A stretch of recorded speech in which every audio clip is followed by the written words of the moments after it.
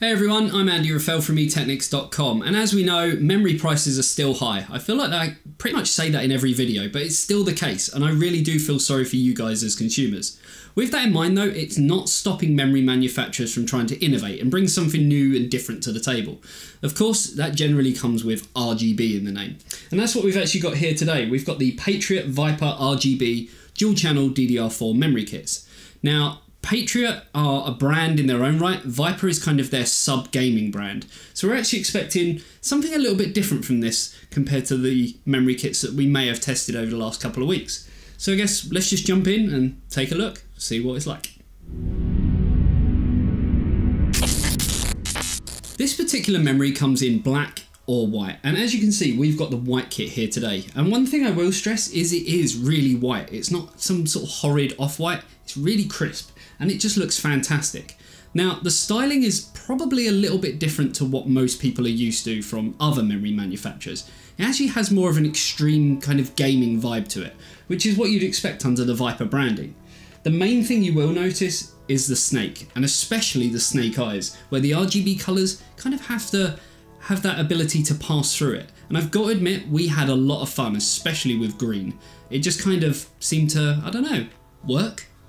On the memory itself, there's five fully customizable lighting zones per module.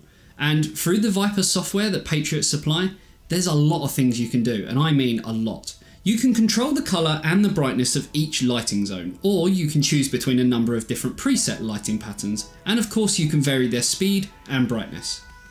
By default, the memory will display a pleasing rainbow of colours, but it will remember your last zone by zone lighting colour choices, which is quite a nice little touch and something that I've never seen before. It's also worth noting that you can combine the preset lighting patterns that the software provides you with your own unique custom styles. This allows you to take customization just that one step further, and something that we've never really seen on any memory in the past, so it's really nice to see that. RGB aside, I've got to admit this memory looks absolutely fantastic. As you can see, we had it in a test bench, but it will look absolutely fantastic in any chassis. Each module has a thick aluminium heat spreader, and it's actually quite light, weighing in at only 52 grams a module.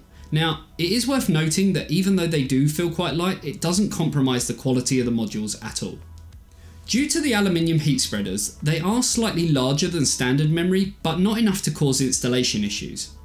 The Patriot Viper kits are compatible with both the latest Intel and AMD platforms, and it's also worth noting that even though they have their own software, they are compatible with all major brand lighting softwares for synchronized lighting with your motherboard, graphics cards, and any other compatible components. One thing I do want to say is out of all the RGB memory kits that I've tested as of late, which has been a lot, this is probably my favourite. It just looks absolutely fantastic. And I love the fact that Patriot have really sort of gone that one step further with the software customization options. So, well done Patriot.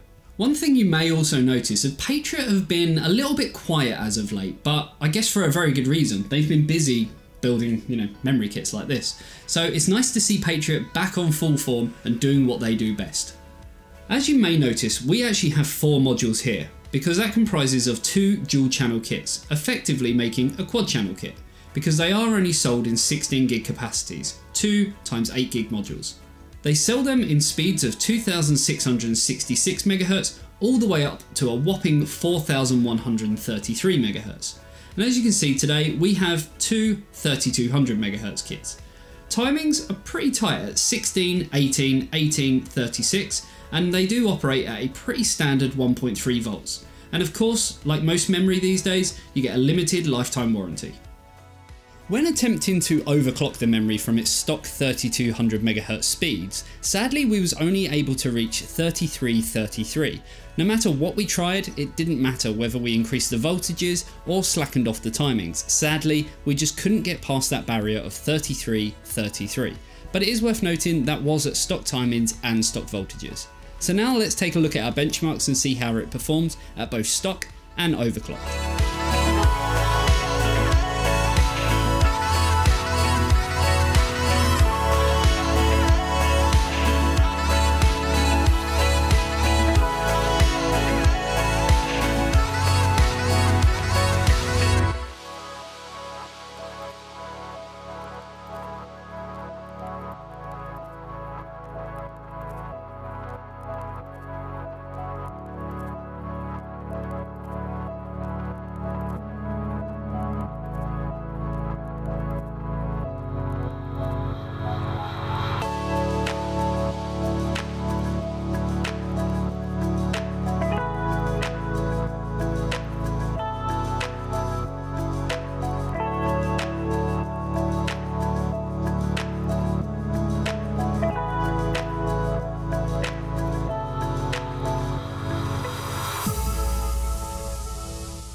So I guess the big question is, what do I personally think of it? Well, in all honesty, when I first got it, I have to admit it did look a bit gimmicky. You have this whole kind of Viper theme going on, the snake eyes, but then I turned it on and, well, simply, wow. You can see for yourself, as you have throughout this whole video, it simply looks amazing.